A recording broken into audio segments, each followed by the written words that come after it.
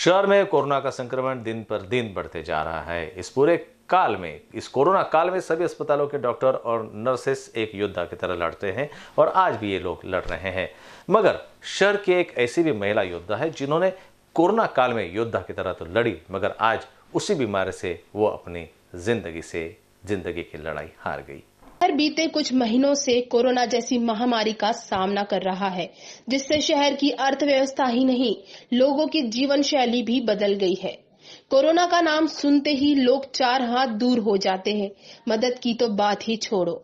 ऐसी परिस्थिति में भी कोई होगा जो अपना समझकर कोरोना पेशेंट का ख्याल रखता हो तो वो है डॉक्टर और नर्स। कोरोना संक्रमित मरीजों का इलाज कर उन्हें घर भेजने वाली एक ऐसी ही महिला कोविड योद्धा की कोरोना से मौत हो गई है। यह महिला कुछ महीनों से शहर के उत्तर नागपुर स्थित समर्पण अस्पताल में नर्स पद पर कार्यरत है। कुछ दिन पहले उसकी तबियत बिगड़ी थी। इस बात की जानकारी महिला ने अस्पताल के डॉक्टर को दी। इसके बावजूद इस महिला की डबल ड्यूटी लगाई गई। पीड़ित महिला को निमोनिया हुआ और जाँच करने पर वे कोरोना पॉजिटिव भी आई। उसे मेयो अस्पताल में दाखिल कराया गया। वहाँ पर बराबर इलाज नहीं हो रहा था। ऐसा महिला ने वीडियो द्वारा अस्पताल के डॉक्टर को बताया, लेकिन अस्पताल से कोई भी कदम नहीं उठाया गया। आखिरकार महिला कोरोना से जंग हार गई और जाँच करने के बाद कोरोना रिपोर्ट पॉजिटिव आई। उसकी मौत से दुखी उसके सह कर्मचारियों ने गुरुवार को अस्पताल के सामने महिला को श्रद्धांजलि दी और अस्पताल के अधिकारियों पर कार्रवाई करने की मांग की। मेवामध्ये असताना तिला ओटोमासवर होती ती सॅच्युरेशन मेंटेन नव्हती करत तिथे. ते बॅकअप लावलं बॅकअपचा व्हिडिओ पाठवला तिने. तिने हेही म्हटलं की माझी हेल्प करा तुम्ही. मला काहीतरी न्याय द्या. मला इथं वागवत नाही आहे. मला इथून बाहेर काढा. हे तिने व्हिडिओ पाठवल्यावर पण त्यावर त्यांनी काही रिप्लाय केलेलं नाही. तिला इथं घेण्यात आलेलं नाही. सत्तावीस तारखेला कोविड सेंटर झालं. आम्ही त्यांना म्हटलं की सर त्या पेशंट त्या पेशंटला भाग्यश्रीला तुम्ही आपल्या हॉस्पिटलला आणा.